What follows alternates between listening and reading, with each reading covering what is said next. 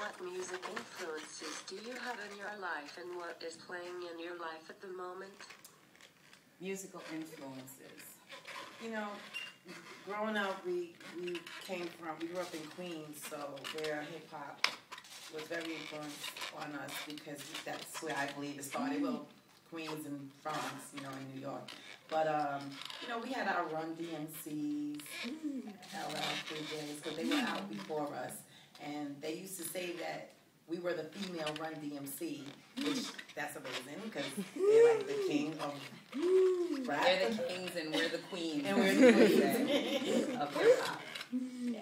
It's a good question though. because I mean, back it was a kind of a leap of faith to be able to hit you right on hip hop back then because it was a lot of people thinking, is this just a fad? Is this going to die off in six months? But you guys really have to believe this was the, this was the direction you were going to take. Yeah, and and being females at that because it's such a male dominated field then and still, and mm. so to act to break down the barriers that we did, and you know do the platinums con- continuously like you know making hits after hits. So we mm. proved ourselves at a time when it, like you said, it was a overnight success. They thought and it wouldn't last. And here, how many years? Thirty years later? Oh. 25 years. For us, it's 25. but that was the question. Pep always says that. That was always the question in media. Will hip hop last? Will hip hop last? We're like, we don't know. I think you know, it will. but it did. So Yeah. thank God. And it will. I believe it's like a, a kind of music that's here to stay because you just express yourself. It's about who you are. And you just, you know, and then you have all the youngins getting into it and they just want to have freedom of speech and just, so. I It's all hip hop now. It's like all merging But you into know- one music, but- really, right? Right. So, but where it is now, and it's grown in such a, a beautiful way because you have different collaboration with, you know, rock, pop, country, everyone. You know, like um, what you call it, teamed up with Tim McGraw. Um, Was it Eminem? not Eminem. Um, oh my gosh, from St. Louis. Never mind. What's his name? Everyone, he sang the country song, Tim McGraw. Anyway, okay. The rapper. Oh, Nelly, thank you. All right, thank you. I was like, Nelly. Your grade just went up. I am only 20 years old, and your music was big before I was born and is mm. making a comeback now, quite some time later.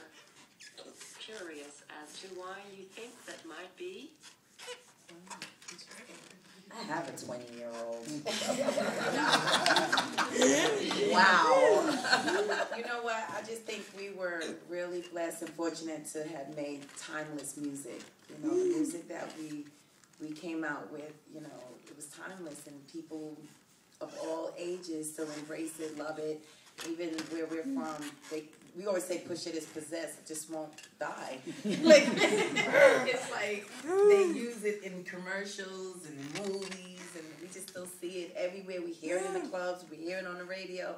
So we were just fortunate to make that kind of music that was able to Stick. stick. Yeah. And we, we, we uh, asked the crowd, where's our 80s babies, 70s babies, and we say 90s babies, and there's Oh, plenty yeah. of 90s babies in the audience, and we're always shocked by that and appreciative that they appreciate, you know, I mean, our a era 90s of music. Yeah. know this? I guess the internet's opened up like a 20 year old now can hear your entire back catalogue. Whereas And I respect that. I respect when, when the younger generation And- respects the music that came before them. They're not just locked into one sound. But you know what? We get a lot because there's a lot of uh, mother daughter come to our Yeah. show. So the mothers still, I think, plays and instill the music into their you know children. They're like, oh, we do like that, and it's such a bond because we always get mothers and daughters. Like this is my daughter, this is my mom's birthday, this is my birthday, and they're like, and we're oh, coming to the salt and pepper, pepper show. Yeah, the, so Any more questions? No. Anything else? What's your favourite song you've ever done? Your own song? Shoop. Hey, we agree on that one.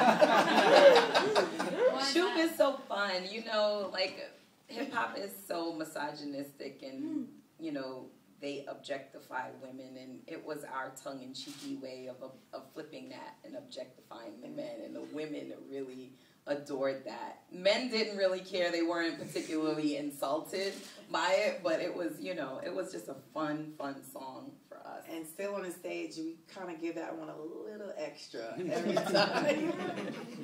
a little bit more than the others. I guess that it?